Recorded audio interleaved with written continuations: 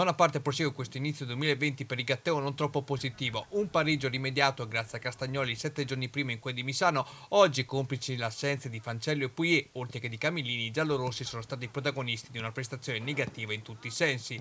Due penni della formazione titolare mancano, d'accordo, ma in Faenza, orfana di Conti sì, che si di panchina, risponde questa volta concretizzando quanto non le era riuscito sette giorni prima contro il Bellaria, una cinquina che colloca i Faentini al terzo posto della graduatoria vittoria, a meno 1 dal secondo posto occupato da Pietro Acuta e a meno 5 dalla capolista Russi.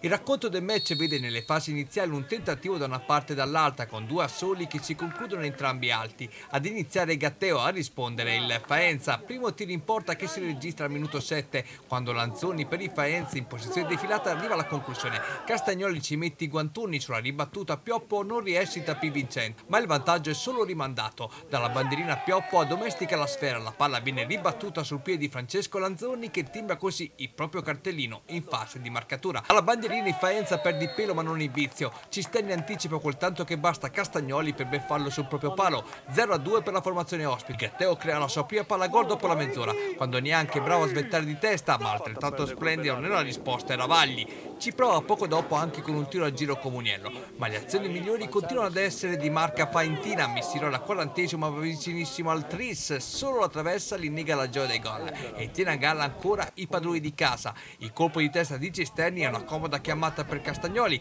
mentre la conclusione di Gobbi si accomoda lentamente al lato. Lanzoni al 42esimo chiama direttamente a calcio piazzato a levare le cosiddette ragnatele da 7 l'attento Castagnoli. È una parata che terrà a galla i giallorossi in quanto 120 secondi più tardi giungono alla rete, grazie all'insistenza di Comuniello che da terra trattiene la sfera divenendo complice nell'assist a favore di Gobbi che segue l'azione e riapre i giochi. Questa marcatura dà speranza al Gatteo. Le squadre vanno a riposo sull'1-2, ma nella ripresa la musica di solo marca Faentina, anche se neanche che di lì a poco lascerà il campo, quantomeno ha il merito di provarci. Ma quando Cisterni innesca Pioppo, ecco che il numero 11 beffa in uscita Castagnoli. Il poker arriva poco dopo.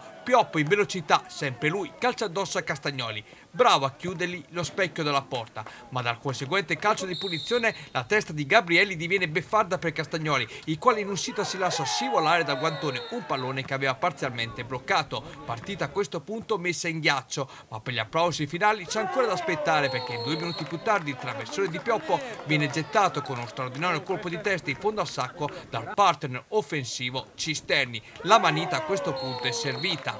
Alla mezz'ora Gobbi impegna a terra Ravagli, sarà l'unico sussulto, l'unico tiro in porta di tutti i secondi 45 minuti ad opera del Gatteo, mentre Chiarini dall'altra parte chiude i battenti con questo tiro a giro che si chiude sul fondo. Per rivedere il Gatteo del girone d'andata serviranno alcuni rientri, il Faenza al contrario riscatta subito la sconfitta interna contro il Bellaria.